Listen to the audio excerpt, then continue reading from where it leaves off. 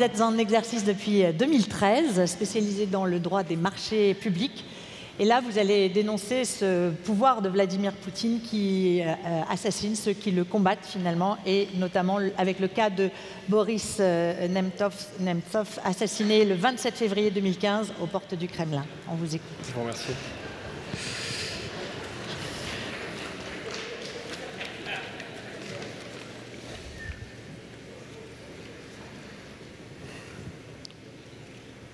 Le 25 février 1917, les rues de Saint-Pétersbourg s'embrasent. Dans l'improvisation et la spontanéité la plus totale, le peuple russe, accablé par la faim, le désespoir et les défaites, brise en quelques jours des chaînes que l'on croyait indestructibles. Une aube nouvelle se lève sur la Russie qui se proclame dans un mélange touchant de foi, d'idéalisme et de naïveté le pays le plus libre du monde. Le 25 février 2015, près d'un siècle plus tard, le soleil s'est couché sur Moscou quand Boris Nemtsov rentre chez lui. Fidèle à ses habitudes, lui qui a tant de fois arpenté les artères de la capitale à la tête de marches contestataires, il préfère rentrer à pied plutôt que de héler un taxi. Sous l'ombre immense et rouge du Kremlin, il traverse le Bolchoï Kameni, ce grand pont de pierre qui enjambe la Moskova. Soudain, un coup de feu éclate. Boris Nemtsov, touché dans le dos, s'écroule. Instinctivement, il tente de se relever, de faire face. Sous l'ombre immense et rouge du Kremlin, il s'écroule à nouveau, touché encore. Ainsi meurt sur la pierre nue dans la nuit moscovite, Boris Nemtsov, jeune prodige de l'ère Yeltsin, devenu un opposant obstiné et inaudible au régime de Vladimir Poutine. Voix solitaire et éternellement vaincue dans la nuit épaisse qui est tombée comme une chape de plomb sur toutes les Russies. Boris Nemtsov, le forcené de la liberté qui ne craint ni l'impopularité, ni l'opprobre, ni la solitude, comme lorsqu'il s'oppose à la guerre dans le Donbass, ou lorsque, seul parmi des opposants hésitants, il condamne l'annexion de la Crimée et soutient la révolution ukrainienne. Comme Paul Klebnikov en 2004, comme Anna Politkovskaya en 2006, comme Natalia Estemirova en 2009, Boris Nemtsov meurt assassiné par des sicaires aux ordres de Ramzan Kadyrov, l'omnipotent satrape de Tchétchénie, le chien fou à qui le Kremlin a donné carte blanche dans la République caucasienne en échange d'une paix du désert obtenue à coups de menaces, d'enlèvements et d'exécutions.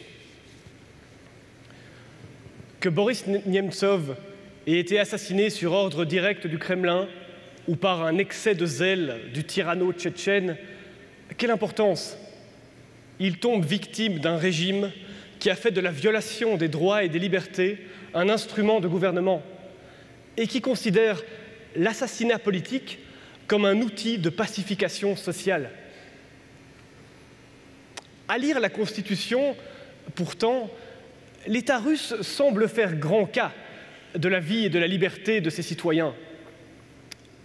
Ne déclare-t-elle pas, dès son article 2, que l'homme, ses droits et ses libertés constituent la valeur absolue?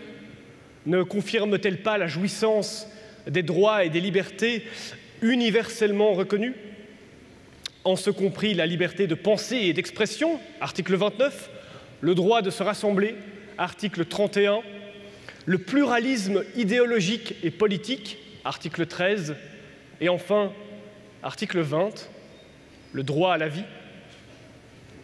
Mais qu'est-ce encore qu'une constitution? Quand c'est l'État lui-même qui commandite quand c'est l'État lui-même qui assassine Quelle protection offre-t-elle face à un régime qui considère la terreur comme un instrument de gouvernement, au même titre que la corruption, que la propagande et que la manipulation de l'information? La vérité, c'est que toutes nos déclarations, toutes nos constitutions ne sont que des villages Potemkin de papier, quand l'État qui doit les appliquer les viole en toute impunité. Le meurtre de Nemtsov, comme celui de tant d'autres opposants, journalistes, avocats, militants des droits de l'homme, relève sans conteste d'un terrorisme diffus, employé ou à tout le moins toléré par le régime de Vladimir Poutine et dont l'objectif est de faire taire toute dissidence.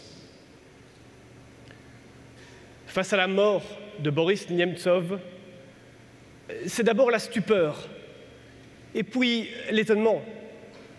Pourquoi Pourquoi prendre la peine d'assassiner cet éternel vaincu, ce has-been démocrate condamné à l'échec? Était-ce bien nécessaire?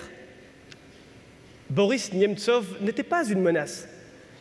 Aux grandes manifestations de 2011 avaient succédé des meetings clairsemés et invisibles le rayonnement de son parti, qui peinait à dépasser le pourcent de voix, était négligeable. Qui plus est, ses positions pacifistes faisaient de lui un homme radicalement isolé dans le climat de ferveur patriotique qui enfièvre la Russie depuis la conquête de la Crimée. Alors, qu'était Boris Nemtsov au moment de sa mort? Loin si loin semble le temps du vice-premier ministre prometteur, du protégé de Boris Yeltsin, du jeune prodige de Nijni Novgorod. À l'heure de sa mort, Boris Nemtsov n'est plus qu'un homme seul qui marche dans la nuit. Un homme en colère, un homme qui marche seul dans la direction qu'il s'est choisie, sans peur sous les murailles du Kremlin, sans crainte, sous les regards du pouvoir remparé en ses citadelles. Indifférent à la puissance sans borne du régime, imperméable à ses pressions et à ses menaces, porteur dérisoire d'une vérité qu'il refuse de taire. Et même cela, même cette unique silhouette solitaire dans la nuit, les sicaires du régime ne pouvaient la tolérer. Dans une Russie toujours plus cadenassée, toujours plus verrouillée, Nemtsov apparaissait comme une anomalie, comme le reliquat d'un âge où, malgré les coups, malgré la prison, on pouvait encore hurler sa dissidence à plein poumon. Désormais, c'est terminé. Loin d'être isolé, le meurtre de Nemtsov constitue la face la plus visible d'un régime basé sur la violation discrète, subtile, mais systématique des droits garantis aux citoyens russes. Pour un Sergueï Magnitsky, qu'on laisse mourir de froid dans sa prison, ce sont des dizaines d'avocats, entrepreneurs, indépendants, que l'on prive de la liberté d'entreprendre ou du droit de pratiquer leur profession parce qu'ils ont eu le malheur de s'opposer à des oligarques proches de l'État.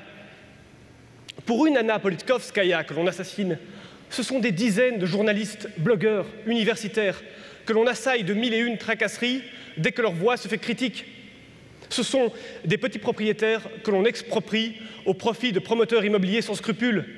Ce sont des entrepreneurs sommés de vendre leur affaire pour un rouble symbolique. Ce sont des procès douteux montés de toutes pièces. Ce sont des manifestations pacifiques interdites et écrasées à coups de matraques et de gaz lacrymogènes.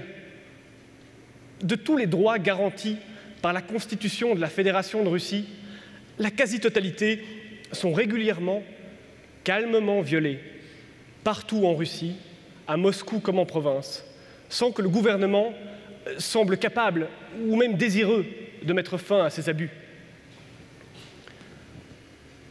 En laissant les barbouzes de Kadyrov assassiner Boris Nemtsov en plein cœur de Moscou, le régime fait à son peuple cet aveu clair de cette trahison routinière des droits de l'homme.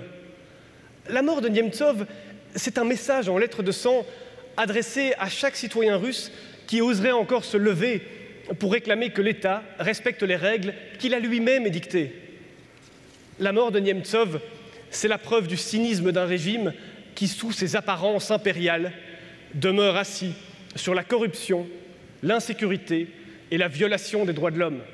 Une violation discrète ou flagrante, anodine ou mortelle. observant la mort de Nemtsov à distance, perché tout en haut de notre promontoire occidental, rengorgé dans la certitude de nos droits, de nos libertés, de notre confort, remparés dans notre péninsule de prospérité que nous croyons immuable. Il est tentant de céder à la fatalité et d'abandonner la Russie à son destin, qui serait sans doute de passer pour toute l'éternité d'un despotisme à un autre. Si nous cédons à cette indifférence, Boris Nemtsov, comme Anna Politkovskaya, comme tant d'autres, disparaîtra dans la nuit, marcheur solitaire, enseveli dans l'oubli. Une étincelle fugitive sur nos écrans, à peine entrevue, aussitôt oubliée, digérée, évacuée au profit d'autres actualités, d'autres faits, d'autres scandales, d'autres morts, toujours plus étouffés, toujours plus assourdis, comme le coup de feu d'un pistolet silencieux au-dessus de la Moscova, engloutis dans ces limbes où nous confinons nos frères, les Russes, qui nous sont si étrangers et pourtant si proches. Mais et si Et si le combat pour la liberté ignorait la fatalité? Et s'il se moquait du sens de l'histoire S'il se gaussait des sages qui prêchent le renoncement? Euh, Si sa mémoire était riche de sursauts inespérés et de batailles impossibles, d'hommes et de femmes qui disent non, de longs et sombres tunnels parcourus à la lumière vacillante d'une bougie fragile, dans l'attente, non, dans l'espoir d'une aube improbable et lumineuse. Alors, alors cette flamme que Boris Nemtsov portait seul dans la nuit, d'autres la relèveront, encore et encore et encore, contre toute logique, contre tout bon sens. À nous, à nous de les soutenir dans leur folie, dans leur folle audace, dans la peur, oui, mais aussi dans la colère, dans le rire et dans la vie, afin que, cent ans après les journées de février 1917, la Russie devienne peut-être le pays le plus libre du monde.